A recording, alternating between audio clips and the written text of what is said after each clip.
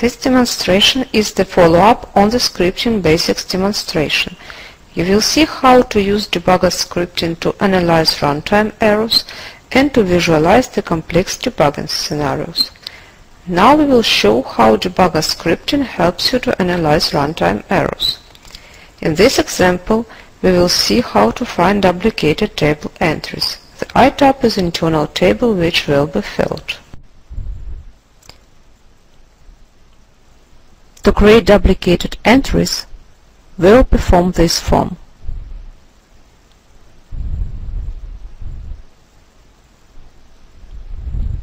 When we now execute this program, runtime error occurs because of the duplicated entry in the table.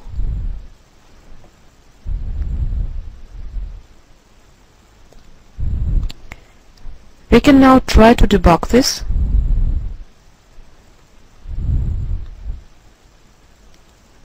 We show our internal table, but it is really hard to find the duplicated entry in a large table. Better way to do is where the script. Within ScriptTab we can load a script and we see some predefined scripts. We have seen even one to find duplicated entries.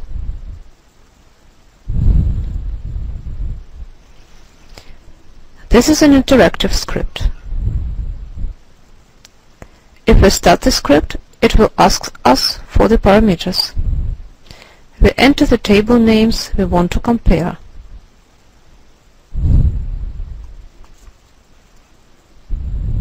And here we are. The rows 312 and 311 are duplicated.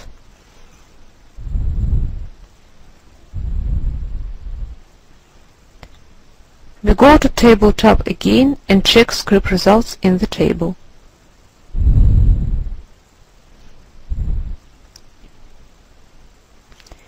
We see that the rows 311 and 312 contain duplicated entries. So the script led us directly to the point of the runtime error, duplicated entries.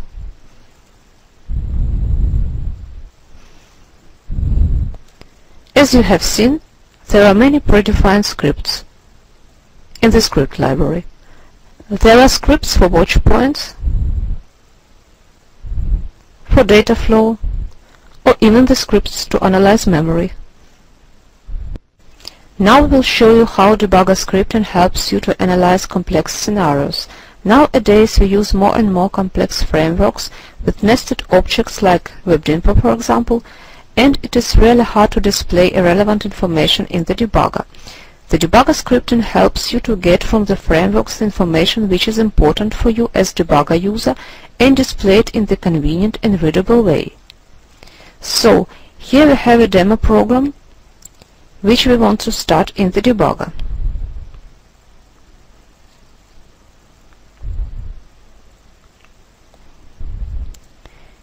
You see here the internal table IT customers.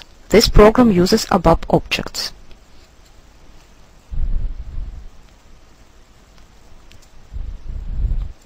We click on the IT customers and see the list of the customer objects in the table. We can't read the name of the customer and don't see his account information. Everything is hidden in the customer object.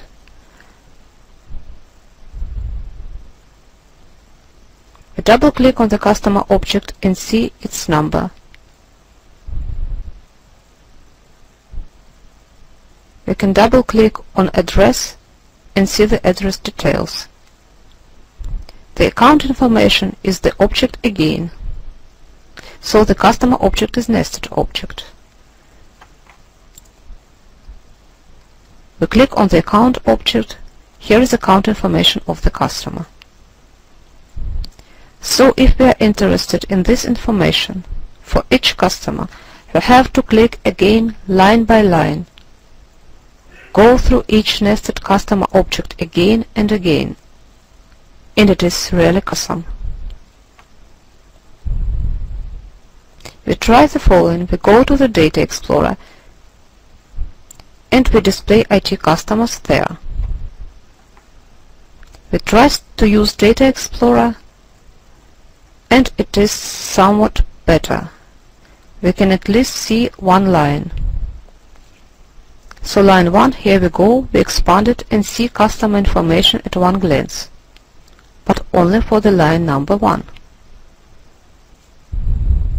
Select different table row, here we go, line number 2.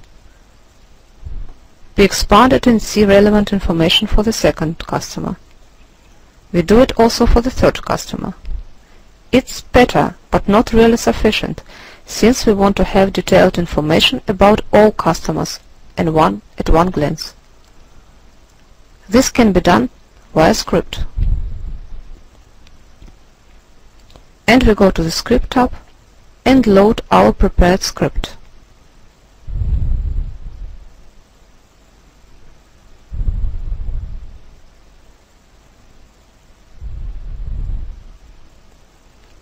And the script itself is quite easy.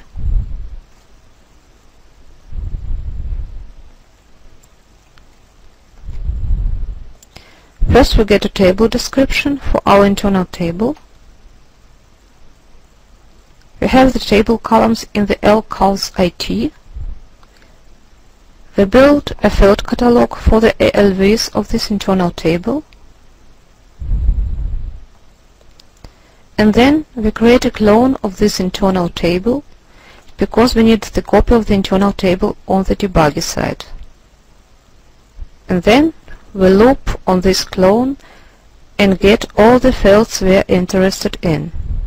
We access line by line all address fields, name of the customer, street, city, account information, and so on. That's it. Now we want to run the script in the script wrapper and show the results on the same desktop under the source code. We load a script wrapper under Special Tools and load our script again. And start it.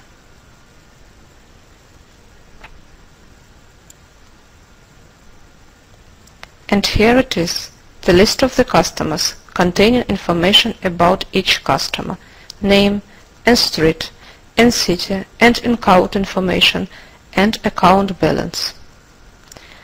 So, this was an example how you can deliver the needed information from the complex frameworks to the debugger user in a convenient way via a simple script.